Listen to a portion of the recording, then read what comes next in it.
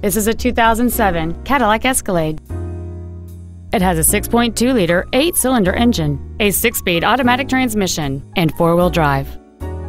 Its top features include a locking differential, a low tire pressure indicator, traction control and stability control systems, high intensity headlights, a DVD player, alloy wheels, and much more.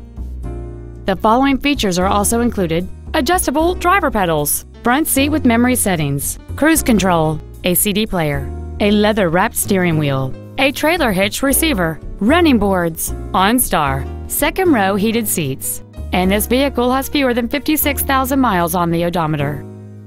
This Cadillac has had only one owner and it qualifies for the Carfax buyback guarantee.